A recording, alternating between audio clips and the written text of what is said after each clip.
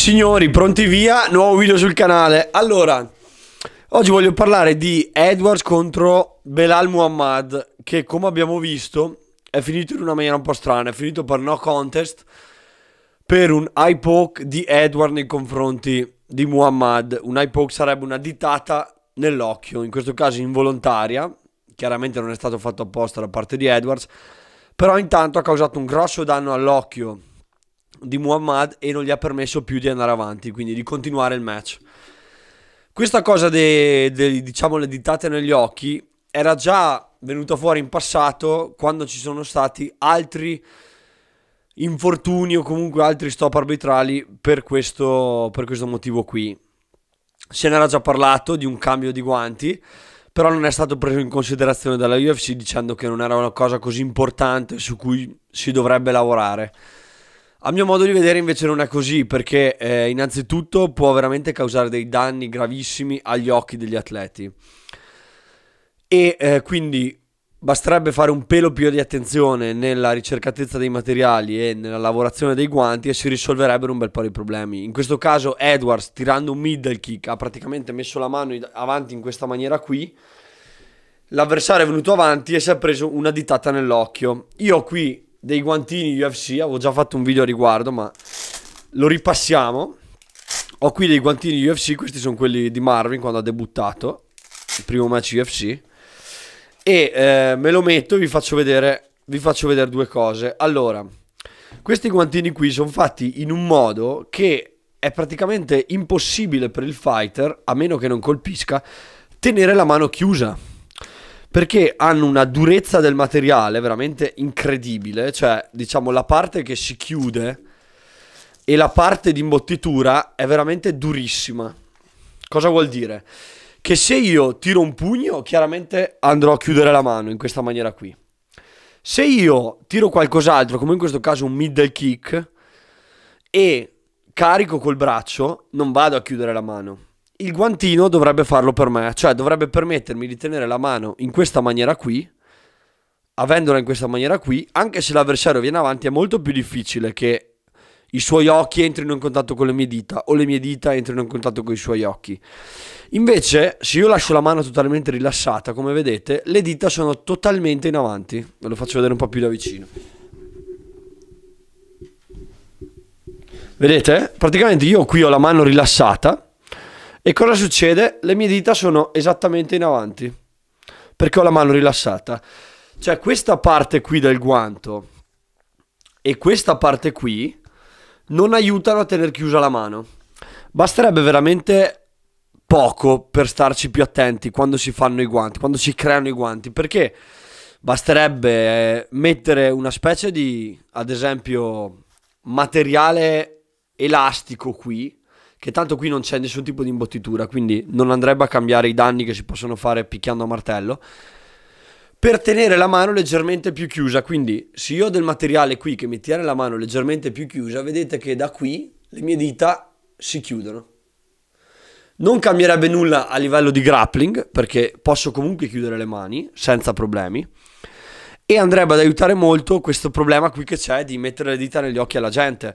Non è la prima volta che capita e, e praticamente, cioè, è abbastanza imbarazzante sta cosa. Cioè, ho le dita completamente in avanti io, eh, tenendo la mano rilassata. Quindi capite che è un problema abbastanza grosso questo. Perché eh, non volendolo i fighter o colpiscono, ma non volendo ficcano le dita negli occhi alla gente. Puoi anche cavare un occhio a uno facendo così. Quindi Secondo me ci vorrebbe un po' più di attenzione da parte della UFC perché questi guantini sono veramente, cioè sono proprio base, base, base, base, non c'è ricercatezza, sono gli stessi di dieci anni fa. Se voi prendete qualche guantino di anche marche che non vengono usate in UFC, quindi marche diciamo inferiori, possiamo dire così, ma non penso sia così. In realtà come qualità dei materiali e come fattura sono meglio. Ad esempio i guantini che venivano usati al Venator dell'Adidas, già quelli la mano non è così, è leggermente più chiusa.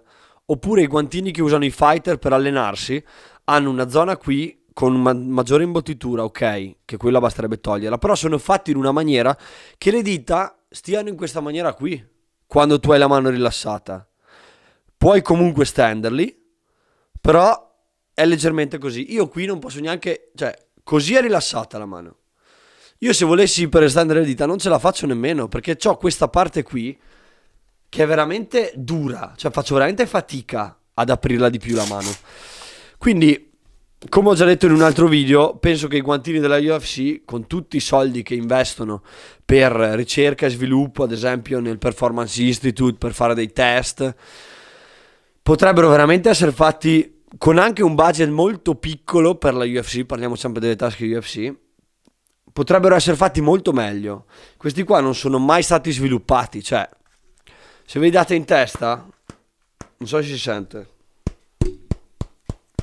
Sono duri come il ferro, se li, do, se li do sul tavolo, proviamo a vedere se si sente.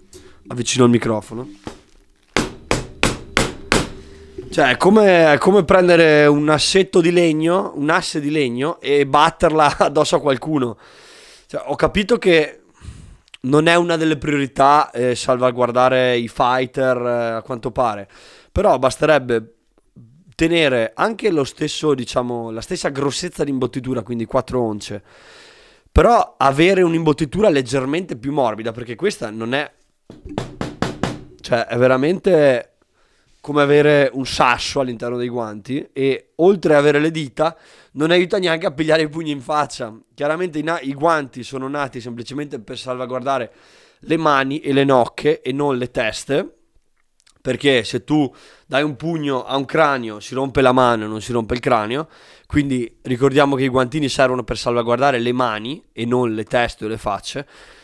Però con un po' più di impegno nel, nei materiali, nella ricercatezza diciamo di questi guanti, insomma si potrebbe fare molto meglio. Eh? Se li vedete da vicino non sono chissà che guanti, adesso ve li faccio vedere da vicino. Questi sono i guanti ufficiali UFC, ve li faccio vedere di profilo anche. Non sono... Non hanno una qualità incredibile, ne ho visti di molto migliori.